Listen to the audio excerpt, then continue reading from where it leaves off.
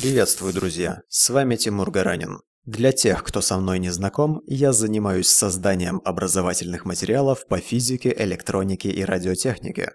На моем YouTube-канале уже достаточно много роликов об антеннах и в том числе о фрактальных антеннах. Интерес публики к этому типу антенн не угасает, наоборот, возрастает.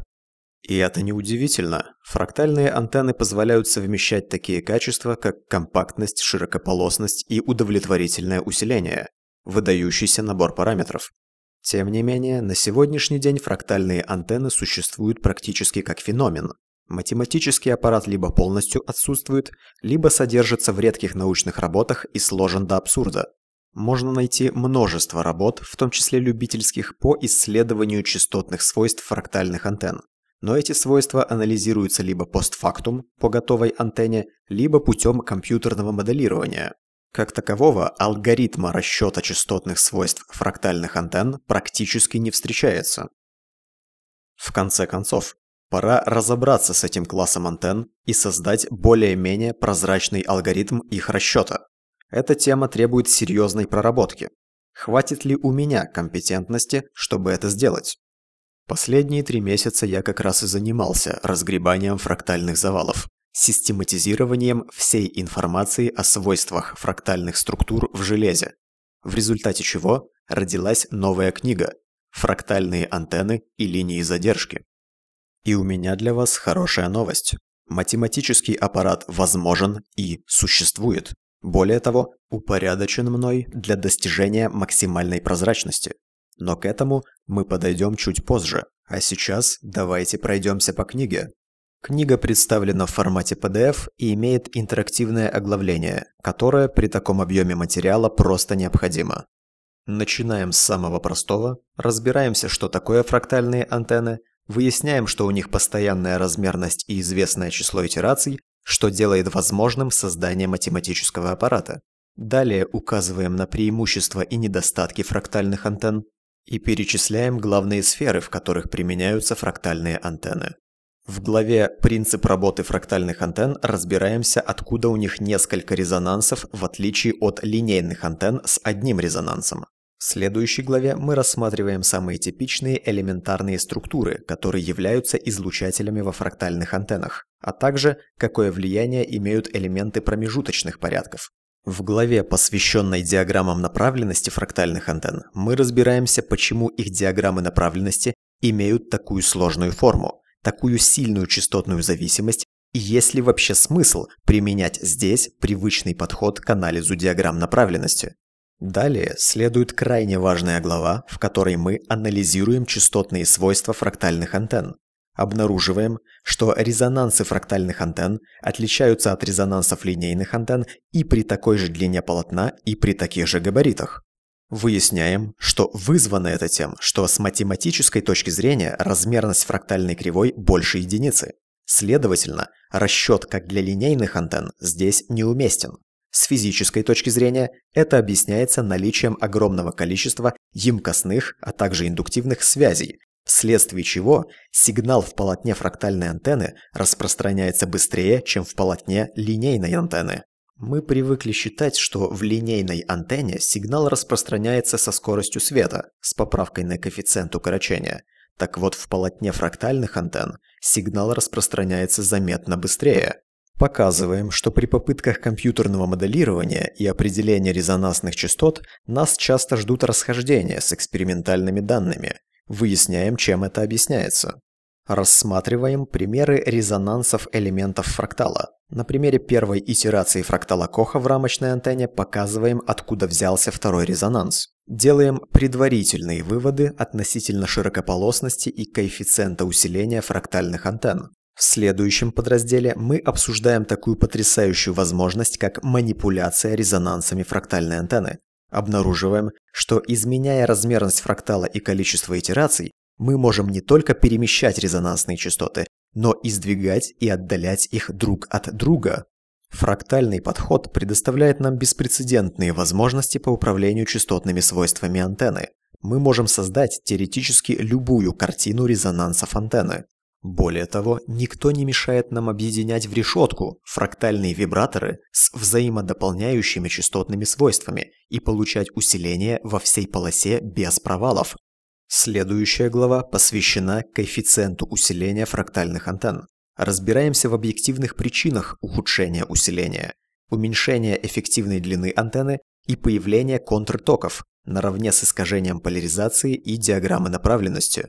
В главе «Сопротивление и согласование фрактальных антенн» мы выясняем, что активное сопротивление падает с увеличением количества итераций. Это не беда, так как сопротивление антенны можно регулировать, смещая точку подключения к фидеру, но это одновременно меняет режим работы антенны. Более того, согласовать антенну во всем диапазоне частот невозможно принципиально. А далее нас ждет самая важная глава, ради которой как минимум стоит изучить эту книгу мы разбираем математический аппарат, позволяющий рассчитывать частотные свойства фрактальных антенн. Мы определяем размерность фрактала, количество итераций, вычисляем частотный коэффициент, рассчитываем частоту линейной антенны, подвергаемой сворачиванию во фрактал, находим ее длину волны и четверть длины, определяем габарит результирующей фрактальной антенны после сворачивания.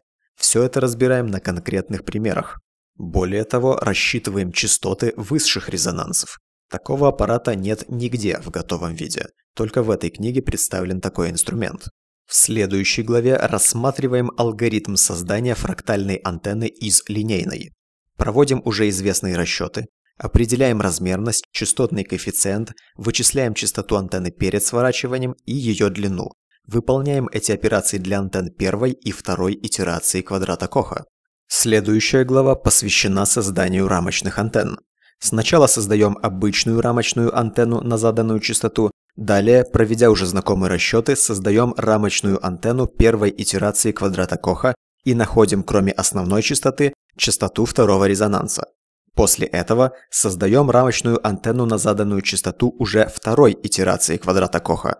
Для нее мы находим уже два высших резонанса, привязанных к ее внутренним структурам а также результирующий габарит антенны и длину ее полотна. Показываем, что сегментация фрактальной антенны убирает самый низкочастотный резонанс, сохраняя высшие. Далее мы рассматриваем, какие преимущества дают нам фрактальные антенны, выполненные на поверхности печатных плат.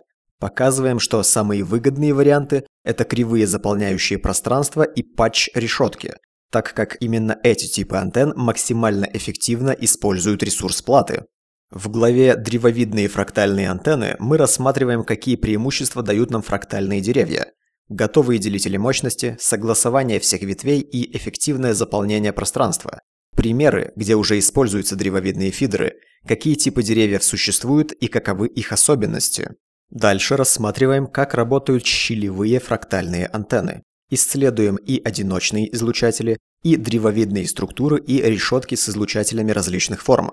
На примере салфетки Серпинского определяем, что самоподобные треугольные элементы работают как элементарные излучатели решетки, формируя множество резонансов. С точки зрения использования пространства, самыми эффективными структурами являются кривые пиано. Рассматриваем особенности кривой Гильберта, алгоритм построения П-образной кривой на квадратной плоскости и алгоритм преобразования линии. Также способы создания рамочной антенны на основе П-кривой Гильберта. В качестве второго примера рассматриваем S-образную кривую. Алгоритм построения фрактала с несколькими способами чередования S-элементов и характеристики результирующих кривых.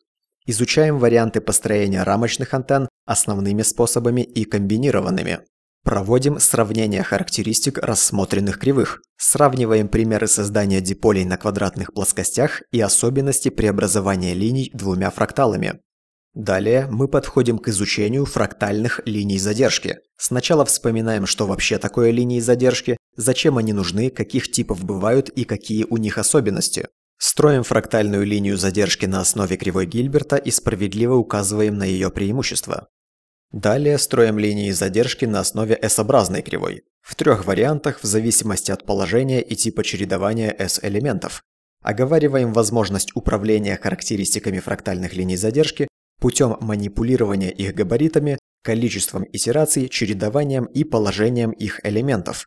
После чего переходим к самой известной структуре в линиях задержки – меандру.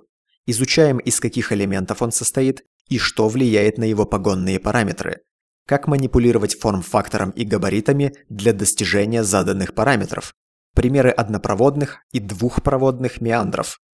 Так как мы уже разобрались и с фрактальными вибраторами, и с древовидными структурами, и с методами упаковки линий задержки, то нам ничего не мешает все это использовать для построения антенных решеток. Для начала мы создаем делители мощности из древовидных фракталов, получая готовую согласованную параллельную структуру фидера, способную работать во всем диапазоне частот. Дальше применяем фрактальные линии задержки для уплотнения решеток с последовательным включением вибраторов. Используя свойства фрактальных структур работать в режиме антенной решетки, мы создаем одно- и многодиапазонные структуры из плоских треугольных и прямоугольных вибраторов. Исследуем наши возможности по максимально эффективному использованию ресурса печатной платы и возможности по созданию широкополосных щелевых решеток. Последняя глава посвящена практическому изготовлению фрактальных антенн. Сначала расписываем алгоритм создания простой проволочной фрактальной антенны, После этого алгоритм изготовления антенн на плате, а затем оговариваем последовательность действий, которая позволит достичь наилучших результатов с наименьшими затратами ресурсов при моделировании и натурной доводке антенн и антенных решеток. Оканчивает книгу заключение, в котором мы подводим итог тем возможностям, которые открывают для нас фрактальные алгоритмы в построении антенных систем. А возможности эти беспрецедентны. Изменяя размерности фракталов на разных итерациях, сдвигая и разделяя резонансные частоты, мы можем гибко формировать рабочие полосы антенн в любом частотном диапазоне и любой ширины. Ну что ж, вот над каким материалом я работал последние три месяца. Несмотря на то, что книга уже получилась объемной, я должен справедливо отметить, что исследования в этом направлении находятся на начальном этапе. Нас ждет самый настоящий эволюционный скачок в физике и математике, когда мы в полной мере научимся использовать фрактальный подход. Настоятельно рекомендую книгу к прочтению, во-первых, радиотехникам, и во-вторых, всем специалистам в точных науках, математикам, физикам, программистам. Дерзайте, рассчитывайте, создавайте, исследуйте. Это очень интересная и многообещающая тема, абсолютно новый класс антенн, точнее возможностей по управлению частотными свойствами. На этом я заканчиваю. Изучайте книгу, желаю вам удачи!